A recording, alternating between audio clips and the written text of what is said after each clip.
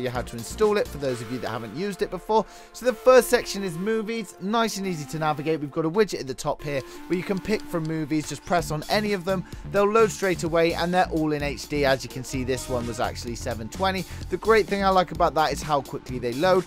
In the add-on shortcuts, we've got Exodus, Gen Videos, Salts, iStream, Movie Vault, and Specto. As well as that, you can press on movies and pick from all the different categories in Exodus. In the sub-menu, we've got cinema movies, 1080p movies, HD movies, 4K movies, and a search function in there as well. So the search function actually searches multiple add-ons to try and find what you're looking for. So if I just type in Deadpool here, press done, it will then ask me to select what I want to watch, so it will give you a choice of all the different search results it's found. I want to watch Deadpool, so I'll press on that. It will then search all the supported add-ons, so you can see it's searched iStream, Phoenix, Salt, Specto, UK Turk Playlist, YouTube, so I'm not sure why that's come up there, and Gen Videos, so you can easily search all your add-ons and find the stream you're looking for. So I'm just going to back out of that. The next section is the TV show section. So again, another widget at the top with all the popular TV shows. You press on the TV show you want to watch, choose the season, pick the episode, and it will then scrape lots of different websites to try and find some links for you.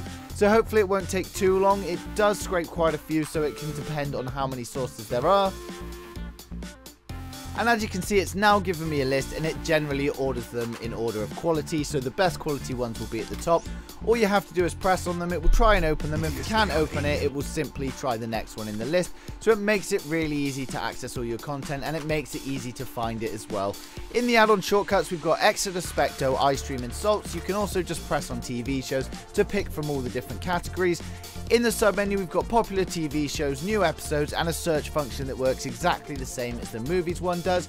The next section is the sport and pay-per-view section, so a widget at the top here with lots of popular channels. So if we just try one here, we'll try Sky Sports 1.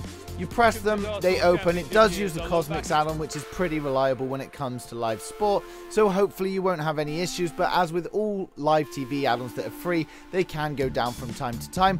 In the add-on shortcuts, we've got CosMix, Sports Devil, Merlin Sports, NFL Game Pass, DC Sports, Castaway, UFC Finest. You can also press Sport and Pay-Per-View, and it takes you to all the add-ons. You can also go in the sub-menu where we've got live events, UFC, WWE, channel search, and Suicide Pay-Per-View in there as well.